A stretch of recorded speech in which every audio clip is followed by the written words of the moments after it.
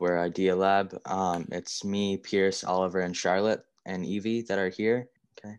Uh, this is our mission. Our mission statement is we spread the love of learning through technology, problem solving, and creative thinking to give children new opportunities to help them build a better future. So, talking about our progress and accomplishments, um, we've had 42 lessons created for our Wakelet in conjunction with FAU. Uh, we've delivered robots and supplies to Hope Rural to establish this literal idea lab, the lab. And uh, we've had Zoom and in person lessons by the Idea Lab team about how the design thinking process works. We've taught them that to the pre K 3 and through the fifth grade students. And we also included guests like retired aerospace engineer Paul York, and he support, supported the students by going on a Zoom for MIT Scratch lessons. And we have a picture of that later in the slide, but that's not right now. We educated close to 74 migrant children in problem solving.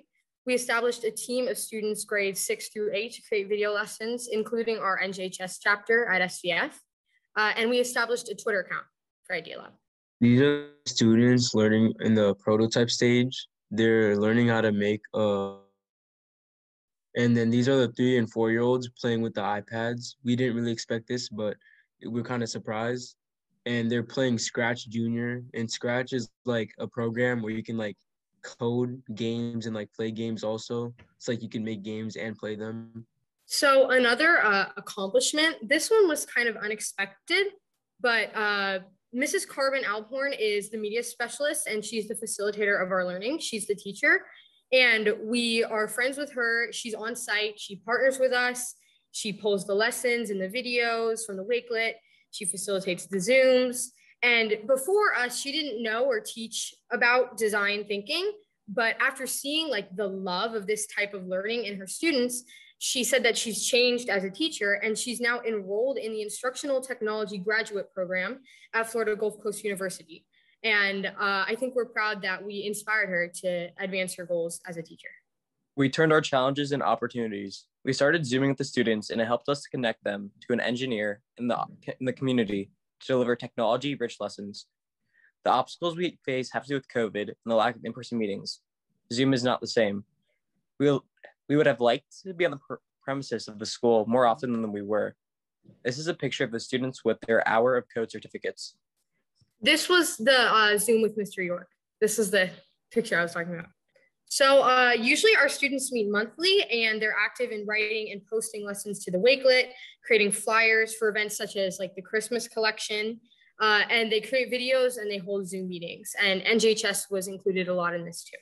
This is the impact, and it impacted 70 or more pre K through fifth grade migrant children at Hope Rural, and also the technology and design building supplies filled up six shelves in the media center.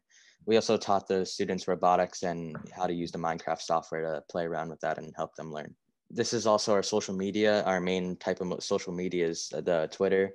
There's also an Instagram um, for the Idea Lab, but Twitter is the main thing that we use for it. So there are a couple different quotes from the people who've been working with the Idea Lab project. The first is from Ms. Carlin Alborn, who's the media specialist.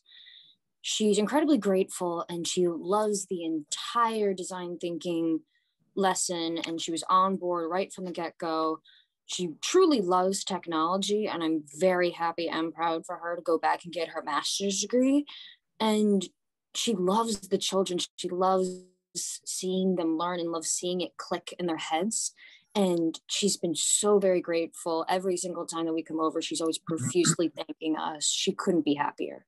And then the other one is from Sister Elizabeth Dunn, who is the director at Hope Rural. She and another nun work there, kind of managing the school with the kids. We don't get to interact with her a lot, but whenever we do catch her, she always talks about how the kids are always so excited for Hope Rural.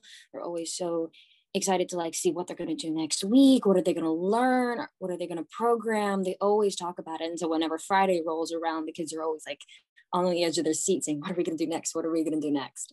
They're all so involved. They're just they have such a great appreciation for learning the uh, design thinking process. And so this is just a little quote from me. And i joined this program about this time last year, and it was very much a kind of just hope for the best, cross our fingers and jump. best decision I made that summer. I really got to interact with kids in a way that I hadn't before. I mean, these kids loved learning in a way that I hadn't seen before. They listened intently. And like whenever I gave those speeches, they're sitting there and they're just waiting. And it was dead silent. Nobody was talking. They were so focused. And I'm happy that I was able to influence people of all different ages, from the kids all the way up to Miss Alborn. And hopefully, we'll be able to expand to other schools, hopefully and something that I don't believe I've informed you, but um, I believe it was January, January of this past year, my school, St. John Paul II Academy, awards one student monthly the Lasallian Spirit Award. And that month, for my trip to Hope Rural, they um, awarded it to me. And it's based, this is what it looks like. You guys can take a peek. I don't know if it's like reversed, but there it is.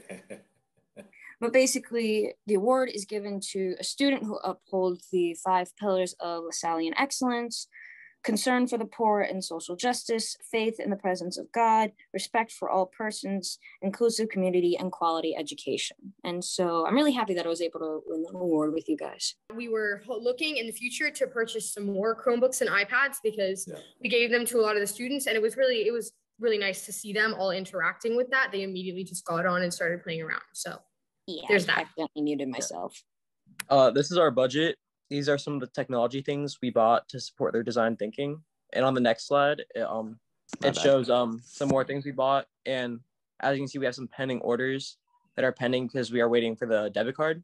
We placed this order in April before the changeover, and we'll we're gonna apply the remaining two thousand $468 to create a website, become a nonprofit, and purchase a few more Chromebooks.